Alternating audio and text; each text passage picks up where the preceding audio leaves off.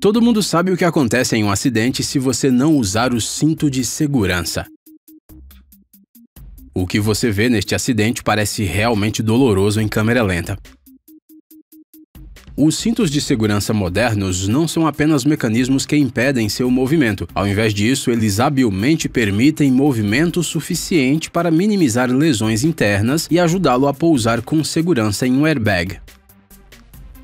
Neste vídeo, não aprenderemos apenas o trabalho de um cinto de segurança. Aprenderemos por que os mecanismos dos cintos de segurança modernos são projetados da maneira que são. Então, aperte o cinto de segurança e vamos começar a jornada pelo design. Vamos começar com a forma mais simples de design do cinto de segurança, um design usando uma mola em espiral e fitas de cinto de segurança. O centro da mola espiral é conectado a um eixo que gira livremente. Você pode ver como a mola tensiona quando você gira o eixo. A fita também está conectada ao eixo. Quando não está em uso, o passageiro solta a fita e, devido à tensão da mola, a fita enrola automaticamente. Acabamos de construir um retrator básico de cinto de segurança. Usando esse arranjo, podemos construir um mecanismo de cinto de segurança de três pontos. Nesse design, a outra extremidade da fita é fixada como mostrado. Um clipe de fivela também é mantido na fita. Como ilustrado, o passageiro pode facilmente afivelar o cinto de segurança, que irá se encaixar bem. O retrator vai liberar comprimento suficiente de fita dependendo do tamanho do passageiro. Os três pontos neste design estão marcados aqui. Esse design não causará nenhum desconforto ao passageiro ao restringir o movimento.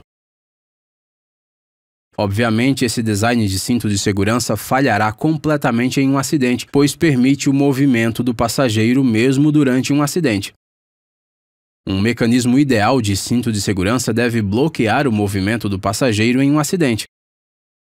Vamos ver como converter o design atual em um mecanismo inteligente de cinto de segurança.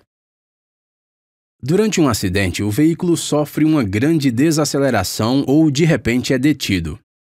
Um mecanismo inteligente pode ser projetado usando esse efeito, usando esta bola de aço livre para rolar e uma dobradiça. A bola é colocada no outro lado do retrator e uma roda dentada é conectada ao eixo do retrator.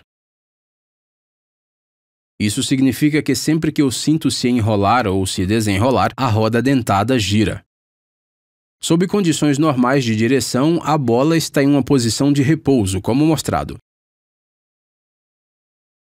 No entanto, quando o veículo para de repente, a bola avança devido à sua inércia. Este movimento moverá a dobradiça e acionará um mecanismo de travamento.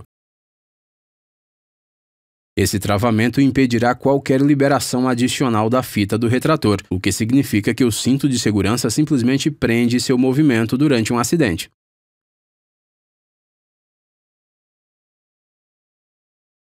Nos primeiros dias de desenvolvimento do cinto de segurança, era muito importante conquistar a confiança das pessoas para que usassem cintos de segurança regularmente.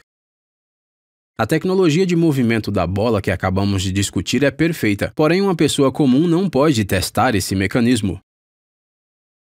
Assim, os engenheiros tiveram uma ideia interessante: desenvolver mais um mecanismo baseado na velocidade da fita. Se a fita se mover rapidamente, ela deve travar, caso contrário, não deve travar.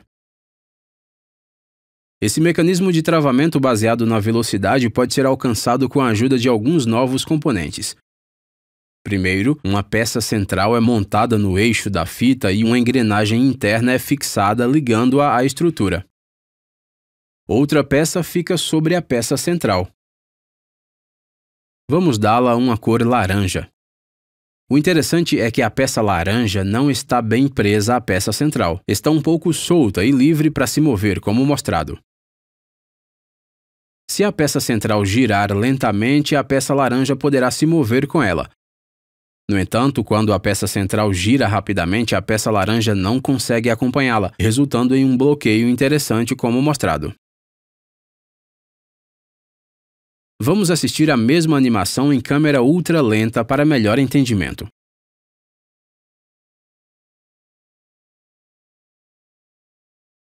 Obviamente, o cinto trava quando o passageiro avança rapidamente.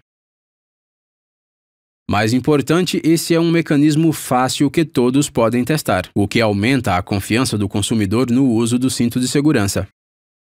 Esse segundo mecanismo tem outro uso. Se o primeiro mecanismo falhar, ele atuará como um mecanismo de backup. Mas os problemas relacionados ao design do cinto de segurança ainda não foram totalmente resolvidos. Por exemplo, se o cinto de segurança bloquear completamente o movimento do passageiro durante um acidente, o cinto criará uma pressão enorme no peito do passageiro, o que pode levar à lesão de órgãos internos. Esse risco é o motivo pelo qual os retratores de cinto de segurança modernos vêm com uma barra de torção. A barra de torção ajuda a liberar um pouco a fita quando ela atinge uma carga crítica, poupando assim o passageiro da pressão excessiva no peito. Vamos ver como isso é feito na prática. A extremidade do cinto de segurança pode ser conectada a esta barra de torção. O conceito desse mecanismo é simples. Quando a carga na fita atinge um limite crítico, a barra sofrerá torção, conforme mostrado. Observe bem que uma extremidade do eixo é fixa devido ao mecanismo de travamento. Porém, note que a torção dessa barra não é uniforme em todo o seu comprimento, é zero em uma extremidade e máximo na outra extremidade. Se conectarmos a fita diretamente a este eixo, não obteremos uma liberação da fita. Para superar esse problema, a fita do cinto é conectada a um eixo e o eixo está conectado à extremidade livre da barra de torção.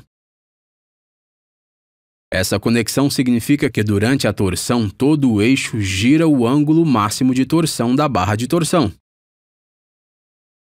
Esta unidade substitui o eixo normal do retrator. Dessa forma, o cinto será liberado um pouco quando a pressão do cinto atingir um valor crítico, o que evita que o passageiro sofra lesão de órgãos internos. Mais um engenhoso mecanismo de segurança comum nos carros atualmente é o pretensionador. Muitos de nós sentamos em um carro de maneira descontraída, então nossos corpos podem não se apoiar perfeitamente no assento. Essa postura reduz drasticamente a quantidade de tempo que os mecanismos de segurança têm para salvar sua vida. No entanto, um pretensionador faz com que você se sente o mais próximo possível do assento pouco antes de um acidente. Logo antes do impacto, a maioria de nós pressiona o pedal do freio com força. Um controlador inteligente prevê um acidente sentindo o movimento rápido do pedal de freio. Os retratores com pré-tensionadores possuem um mecanismo de pistão adicional. Um mecanismo de pistão cheio de materiais explosivos, Assim que o controlador detectar a chance de um acidente, ele acenderá o explosivo que empurrará o pistão e o cinto de segurança apertará.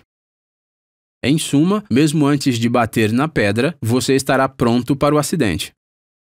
Com o aumento do tempo, as medidas de segurança no seu carro podem funcionar melhor.